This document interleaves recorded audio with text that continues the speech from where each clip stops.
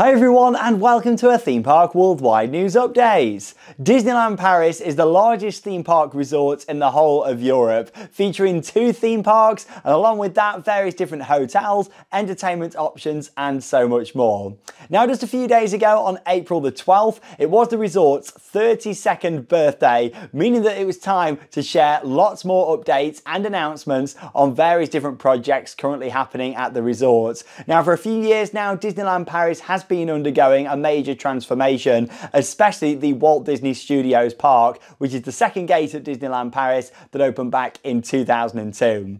Now in this video, I'm going to go through all of the news from the announcements made just a few days ago, including a brand new name for that second gate park at the resort, and also too, lots more announcements, not just about what's happening in Walt Disney Studios, but also some other things around the resort as well. But firstly, onto that main news itself. Walt Disney Studios opened back in 2002, 10 years after the resort originally opened in 1992, and it was the second theme park to be built at Disneyland Paris, all themed around going behind the scenes at the movies. And of course, when it opened, it was a very small park, and in comparison to a lot of other Disney parks around the world, it is still tiny compared to those. However, over the years, it has developed more. We've seen some great attractions come in, like the Twilight Zone Tower of Terror, Crush's Coaster, Ratatouille, and so much more. And most recently, as part of the transformation, we saw Avengers Campus open a few years ago. Now, also for the past few years, they've been building a brand new lake and frozen area as well. And I've got some more information to share on that a little bit later on. Now, as part of this whole project, we've now actually seen the resort confirm that Walt Disney Studios will have a new name, and it's going to be known as Disney Adventure World. Now, this is certainly a very different name than what many people are expecting, myself included, uh, but Disney Adventure World is the official name for Walt Disney Studios um, when World of Frozen opens. And of course, we don't have an exact date for that yet. Many people suggest it's going to be at some point next year. Hopefully so. I really don't want that to run into 2020. 2026. Been under construction for a few years now. Uh, it was already supposed to be open originally. And uh, yes, hopefully that's going to be ready for next year, 2025. And uh, Disney Adventure World will then be the official name for Walt Disney Studios Park. And I'll kind of come on to why the name change in just a moment, because that all kind of pans out with all the news that has been announced by Disneyland Paris a few days ago. Uh, but my thoughts on the name, very different to what I was expecting. However, I can certainly understand uh, why they wanted to change the name of the park, especially with some of the removals over the past few years, uh, kind of coming away from that studios feel and going behind the scenes um, to more different properties all put together. Um, so with Disney Adventure World, you are stepping into this park and kind of going directly in to these various different Disney movies. So I can understand the change. Is it the name that I would have gone for? Probably not. It does sound a little bit generic. However, I think we're all going to get used to it. I do think the logo looks quite nice there as well, quite magical. And uh, it is going to take some time, isn't it? Just to say, oh, you know, should we just go next door to the studios? That's what we say anyway. And uh, I'm sure many of you do as well. So let me know your thoughts on the new name down below in the video comments. And of course, any merchandise that you've got now where it says Walt Disney Studios Park on, uh, well, it's going to be very rare, isn't it? Uh, when the name changes, which is most likely going to be next year.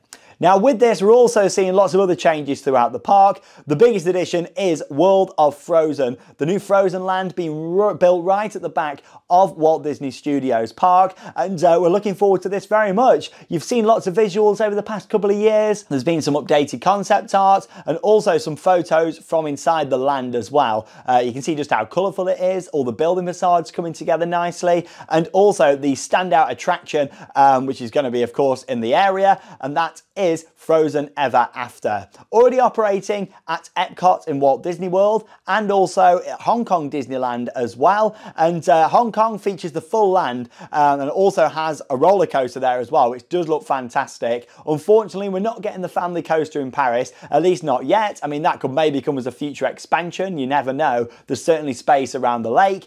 Um, but yes, we're not getting the coaster, but we are getting the dark ride. It actually looks a lot more um, themed and detailed than the version version in Epcot. As much as it follows the same storyline, um, you know, it looks like a lot, more, more, detail, lots more to see, an updated ride system, better capacity on there as well, uh, and of course, uh, proper audio animatronics, as I would say, and not those ones where you've got the uh, the screen kind of uh, pro projection in the back. Uh, these will be the full-on uh, proper animatronics, much like we've seen in Hong Kong when that opened recently, just a few months ago. And we're looking forward to actually checking out World of Frozen at Hong Kong. Um, of course, part of that Asia trip, Full details coming up. Uh, we're visiting every Disney theme park across the whole world this year on Theme Park Worldwide. We've already done Walt Disney World and we've got a big Asia trip coming up in June and we've got more details on that on the way very, very soon. So if you like Disney, be sure to uh, subscribe to the channel. We've got loads of that coming up throughout the year. Uh, now, of course, along with World of Frozen, uh, we're seeing all these other transformations um, around the center of the park and uh, also the main entrance itself to go with the new name for Walt Disney Studios. Now, I said that it's going to be called Disney Adventure World. Uh, let's kind of go into that now and the, the changes that we're going to see at the entrance to the park. Now, Studio One, um, as it's currently known, is the main entrance. You walk in and it's like a Hollywood kind of street, which is built um, inside of this big building. Mainly because of the climate um, in Paris, they thought, let's put it all indoors. And it's quite a nice space in there. You know, I've had many happy times just in there, enjoying the atmosphere. Uh, but then you start looking in detail at the theming in there. It was very flat. It was very 2D. Um, a lot of the facades weren't really proper ones. There were some like cardboard cutouts and all that kind of stuff. Um, yeah, it, felt like it was done very cheaply. And of course, Walt Disney Studios was uh, done on a very, very strict budget when it opened back in 2002.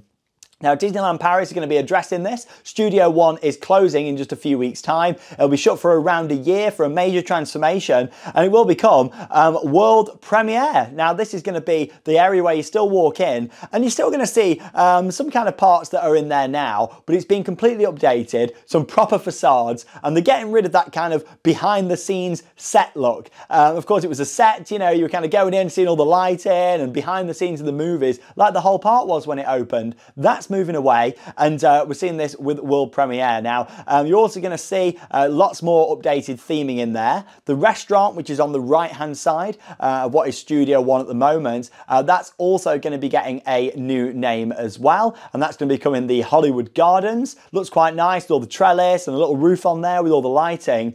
And then down at the, the main kind of the front section, um, you're going to have this big sign now, and you're actually going to be stepping into the movies. So it's still a movie-based park, but instead of going behind the scenes, movie production, creation, you're now actually stepping directly into those. And we've seen this happen at Disney's Hollywood Studios um, over in Florida at Walt Disney World, kind of moving away from that behind the scenes aspect and now putting you as the visitor directly into the movies themselves. So, um, you know, I do really like the look of what they're doing here. I've always quite enjoyed that indoor space. Um, yeah, there was parts that were a little bit tacky and, you know, I wasn't too keen on, but in general, it was a nice space. So I'm glad they're keeping it and having that style vibe. Personally, I'm glad they're not completely demolishing the whole thing and having a normal street because I like how different it is. You know, I don't want another clone of Hollywood Studios. It's nice to just have different things at the different Disney parks. At the end of the day, that's what makes it fun trying all the different Disney parks around the world. Um, so I'm really liking what they're doing with their world premiere. And uh, yeah, it'll be interesting to see what that looks like um, next year.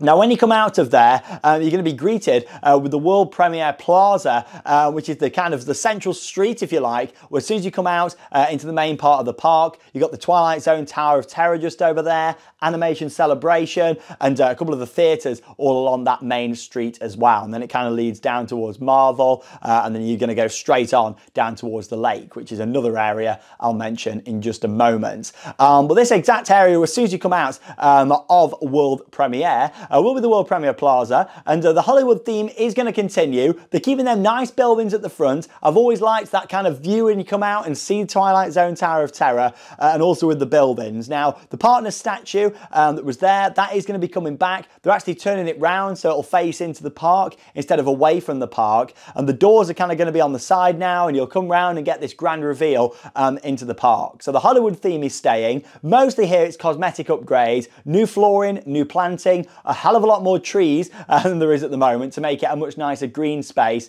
And uh, they're keeping that iconic view of of Terror there, which I'm really pleased about. We uh, heard of no changes coming to that ride, which I am really happy about. As much as Guardians is a fun ride, um, of course, over at Disney California Adventure, I really want to keep the, uh, the Tower of Terror in Paris. It's a brilliant ride, and the story is the best on there now with the creepy girl and the drop sequences.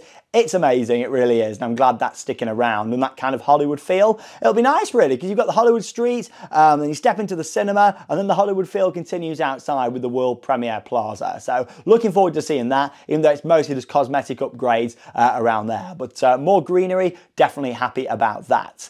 On to the next area then now, and that's as soon as you're going to walk down towards the new lake, and that is going to be known as Adventure Way. Now, this is going to be really nicely landscaped. Looks like quite a large pathway. You're going to have trees. Looks like there's going to be twinkling lights in there. Um, you'll see Tower of Terror off to the left. There'll be a new pathway that leads round into Toy Story Playland, and you'll be able to continue down towards the lake itself. There's going to be a little pagoda there, there's going to be some meet and greets. I'm sure that's an area that will continue to evolve, and they could do events there, they could even do a parade again at some point in the future. This is a wide pathway, it's certainly be designed for multiple different uses in the long term. Uh, maybe more food festivals, we could see something a bit like uh, Epcot Food and Wine Festival down there, uh, and around parts of the lake itself. I feel like that's what all this has been designed for. So it looks like quite a large space without any attractions initially, but I think they've got bigger plans for that in terms of events and just making it feel like a nice park. I mean, Walt Disney Studios, out of the 12 Disney parks around the world, you know, I have been to them all. I'm lucky enough to have seen them all, and it is the weakest park, so I'm hoping that this helps to bring it up again. And you never know, it might not even be down there at the bottom uh, after all this transformation is complete. Uh, now, as soon as you make your way round uh, Adventure Way, you're also going to be greeted by a new attraction themed around Tangled, and I'm really looking forward to this. It's going to be on the right hand side of Adventure Way, uh, just off from the lake itself. And uh, Rapunzel Tangled Spin um, looks like it's going to be a really nice attraction. Beautiful concept art that we can see here. Uh, I mean, look at this. You've got the lanterns, you've got the murals on the ceiling, you've got all the lighting as well. And the actual ride system looks like a spinning cups ride, but instead of sitting in a teacup, you're going to be on a boat. So imagine like Mad Hatter's Tea Party, but you're going to be sat on a boat, uh, kind of similar um, to Sirocco at Efteling in the Netherlands. Looks very similar to that. I mean, we've not got the exact details on the ride system, but initially, from looking at the concept art, it does look very similar to that attraction. So uh, maybe we're going to be seeing that exact style ride. Uh, but of course, we've not got that exact confirmation yet. But still, this looks nice. Uh, I love Tangled. It's nice to see it getting represented more in a Disney park because you don't really have much of it out there. Um, so this will be really nice. Looks like a nice spinning attraction, something in addition, um, all around the lake there as well. And of course, this lake, um, they've put it in right in the center. You've got so much expansion room around the side. But uh, I'll come on to a few rooms about that at the end of the video, so uh, stay tuned. Uh, you've walked all the way down then, Adventure Way, and then you're going to make your way to Adventure Bay, and uh, that is going to be the name for the lake. We've been calling it the Studio Lake for years since it first got announced. Uh, but yeah, this will take some getting used to. Adventure Bay, and uh, this is expected to be for nighttime shows, possible fountain shows, maybe our own version of Fantasmic on there, you never know. Uh, but that'd be beautiful to see. And uh, with the design of this, it's a massive lake, and around there, you've got like tiered viewing, it seems. There's going to be seating, there's going to be all rocks around, there's going to be landscaping, some lovely lighting. I'm sure it'll just have a really nice atmosphere to sit around and and just soak it all in. So I'm really looking forward to that.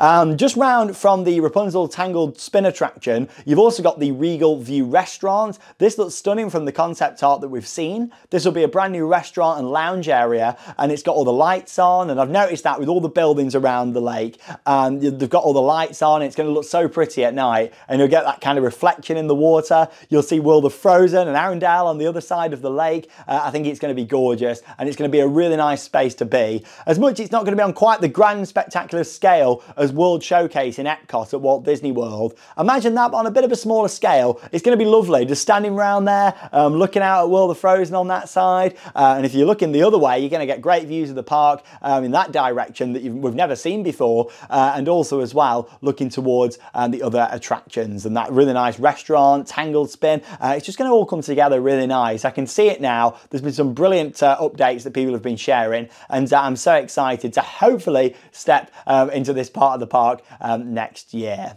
Uh, now, of course, there are all the changes coming to Walt Disney Studios Park at the moment. Uh, but of course, the biggest one there is the name change. We'll still be referring to it as Walt Disney Studios for now uh, because that is still the name. But we do know it is changing to Disney Adventure World. New details on the attractions coming in. And overall, this looks very positive. I know there's been some negativity about lack of attractions around the lake. Don't worry, I think it's going to come one step at a time.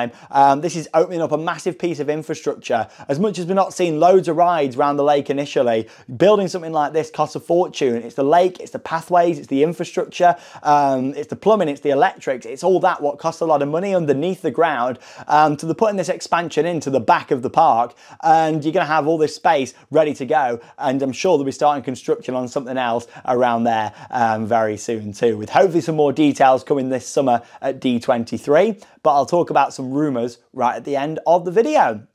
A few more bits though that have been confirmed now by Disney. Uh, Disney Village, now this is undergoing a multi-year transformation. This is a free to enter area if you've never been before, uh, outside of the two theme parks. It connects the parks, the train station, the car parking and the hotels all together with various different dining, restaurants, cinema, shows and uh, it's been undergoing a transformation for quite a while now. I've not seen any of that completed yet because we've not been for quite some time, uh, but we're going to be visiting again soon and look forward to seeing the transformation undergoing. And by the end of the year, uh, everything I'm speaking about now um, is supposed to be done. So we'll, uh, yeah, we'll see what happens with that one. Um, this multi-year transformation, updated pathways, green space, gardens in the middle. You can also see the recycling, the Gardens of Wonder from the 30th anniversary of the resort. Looks like they're going to be spread around throughout this and possibly around parts of um, Lake Disney as well, which is quite a nice little feature. They look good in the park, so I think it's nice that they're keeping them. And it gives it a bit of a Disney touch, you know, like um, I would be a bit worried that, you know, it's going to lose a bit of that Disney feel uh, with the buildings and that sort of thing. I like the fact they're modernising it, but keeping it a bit Disney there as well. At the end of the day, you're still in a Disney park experience. You want it to be, um, you know, that beautiful kind of um, experience as you're walking around. And you've got the two theme parks. Uh, it's this attraction in itself. You're still in the resorts, the wider resorts, and it still wants to have that magical feel. Uh, now, along with that, you're going to have a new shop, Disney Wonders. That's replacing the classic Disney store. Big good that we're going to lose all that theming from inside because there was a lot of nice classic theming. Uh, but you know what? Um, they're modernising the whole of the village and it was expected that we were going to see a lot of that go, wasn't it? But uh, yeah, it's a shame to see some of that classic theming go. Uh, along with that, there's going to be an updated sports bar. Looks a bit more modern, a lounge style in there instead of like a traditional pub. Two smaller shops are going to combine together and to create one larger shop. And uh, also there's going to be some updates to the other facades. Um, you've got a, a, new kind of facade going on the Lego store with a mural. That looks great. And also another smaller shop that's getting some updates there as well. Uh, now, along with that, um, Disney Village, of course, we've got the whole of the side that's going to be redeveloped yet. So looking forward to seeing what happens with the old Planet Hollywood. It's a big space, always up for more dining, more entertainment options. Let's see what happens with that one. And of course. Um, no real time scale for this, it's just ongoing um, at the moment, but a lot of that that we spoke about, they're expecting to be done in the next year or so, which is really exciting. On to the last couple of bits of confirmed news then from Disneyland Paris. The Disney Davy Crockett Ranch is going to be having a refurbishment. The bungalows are going to be replaced, and I've never actually stayed there. Uh, I've stayed everywhere at Disneyland Paris other than the Disneyland Hotel and Davy Crockett Ranch, so we need to stay down there at some point in the future. Obviously, it's not actually directly in the resort. It's about a 10 minute drive, um, but you know what? I'd like to go and stay there at some point in the future. It looks really nice. I love the theme, and that's actually set to be updated as well um, with the Junior Woodchuck having a bit of a theme input with this uh, regeneration project for Disney Davy Crockett Ranch. So I do look forward um, to seeing that in the future. Good to see all this investment in the resorts. Finally, new entertainment options are coming um, to Avengers Campus, the Marvel area in Walt Disney Studios. And of course, there's also going to be the new uh, Alice in Wonderland theme show. This sounds interesting. There's going to be BMX stunt riders, and I'm not too sure how this is going to go. I feel like it's going to be really good or really bad, but I guess we'll find out um, from the 25th of May. So a few weeks to go until this launches. Alice and the Queen of Hearts, Back to Wonderland is the name of the show. And this is actually being held in the former location of uh, Motors Action Stunt Show Spectacular. Loved that show, uh, but of course it was all about movie production. The park's moved away from that now, and they're putting you in the movies. Uh, with this show, the set design looks massive. I mean, they've kept the kind of buildings that were there before from Motors Action and built a new stage a bit closer to the stadium seating, um, and it looks like it's going to be really good from what we can see with the scale of this. Um, but of course, what's the music going to be like? The costumes look quite interesting. Uh, I'm intrigued with this one and to see what it's going to be like. Uh, I don't see this sticking around for a long time, uh, but of course they've spent quite a lot of money on the stage area, so clearly it's going to be here for quite a while, maybe until they can think of a more permanent solution um, to be in that venue at some point in the future. Uh, well, there we go. That's all the confirmed news from Disneyland Paris from April the 12th, just a few days ago. Very exciting. Let me know your thoughts on all of this down below in the video comments. I'm a huge Disney Parks fan. Disneyland Paris being our closest Disney resort here to base. We do love going. We'll be going again very soon.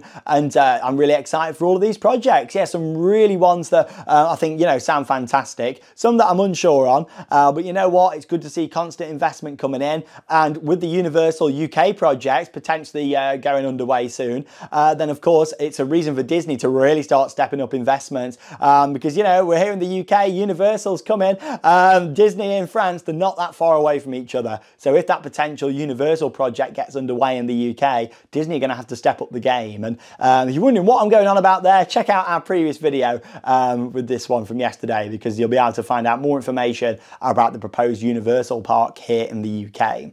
Now, just before I wrap up this video, uh, an exciting news update, just want to uh, just talk a few, about a few rumours. Uh, supposedly, we could be seeing a Lion King land come to Walt Disney Studios Park, so that's quite interesting. Uh, potentially on the left-hand side, uh, maybe where the Star Wars Galaxy's Edge area was planned to go. There's also all sorts of rumours about Disneyland Park that's not had an attraction for many years. Um, potentially, we could be seeing Hyperspace Mountain uh, go away and have a brand new theme, or at least reverting back to the original Jules Verne style theme. I loved that. And there was a little nod actually at this presentation a few days ago. The old soundtrack was played by an orchestra and it was beautiful to listen to. So I'm really hoping we see that attraction um, returning to its former glory, or if not, like a Mission 3 or something different, but going back to that original Jules, Jules Verne style the fact that a few years ago when they updated the trains, they went for that kind of steampunk look on there um, to fit with the rest of the building really gives me hope for that at some point in the future. So there's just a couple of rumours in there, but of course lots of facts, lots of information and millions of millions of euros of investments going into Disneyland Paris over the next few years. And fingers crossed, next year, 2025, we're going to be able to step in. The park's going to be renamed, of course, to Disney Adventure World. We'll see all these changes at the entrance to the park and then we'll be able to make our way down to the lake lake and enjoy World of Frozen and the new lake area, the restaurant, the Tangled attraction, the new meet and greets, the new spaces just to relax and enjoy at Disneyland Paris. But uh, I'm Shawn Sanbrooke. Thank you so much for watching. If you enjoy our videos, make sure you give them a big thumbs up and also subscribe to the channel for many more updates. And that leaves me with one final thing to say. Get out there and keep on riding. We'll see you very soon.